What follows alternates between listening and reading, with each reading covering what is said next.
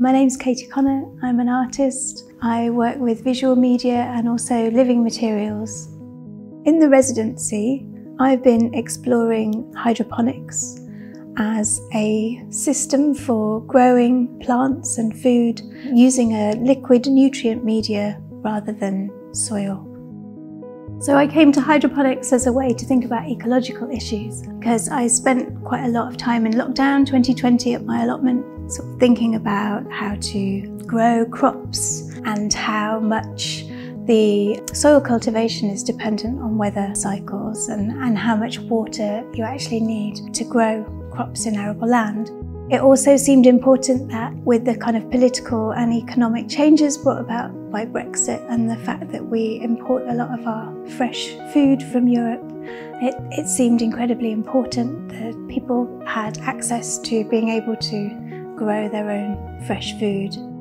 I think a lot of people feel not that they're apathetic, but that perhaps that there's nothing that they can do about, you know, such a big kind of crisis as the climate crisis. Whereas this, I feel it's like bringing things to a much more kind of relative scale that we can have some kind of action and have some sort of direct influence on our own lives, especially to do with like where we source our food and things like that.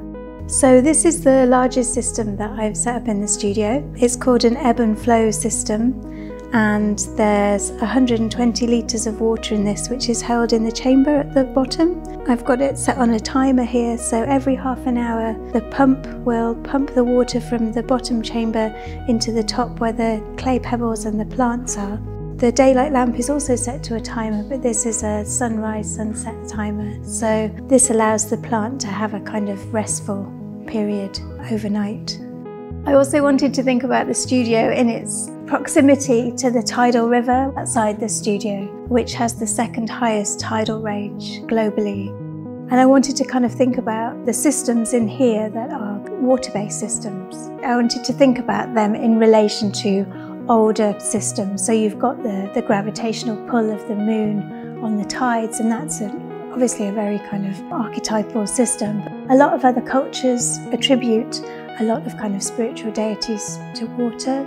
I was interested in like thinking about older sort of more folkloric aspects of, of water and kind of enchantment. And I really wanted to kind of bring those into thinking about hydroponics as a more ancient system or something that we could maybe reintroduce as a different way of thinking about the climate crisis. We've got some uh, recycled water bottles and also some yoghurt pots where I filled the containers with the nutrient media so the roots can go down. So we've got some lettuce, we've got um, some pepper plants and also some salad that is just about to germinate there.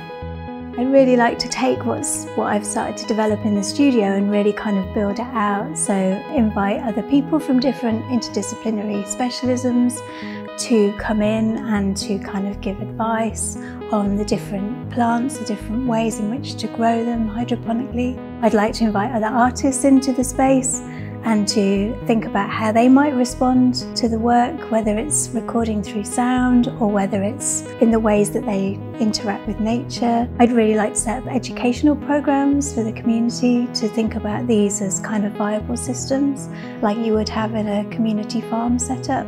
Yeah, I'd really like to kind of open out a research centre that would really kind of take hydroponics to the next level and, and for it to become a kind of a very viable and integrated aspect of the way that we cultivate food.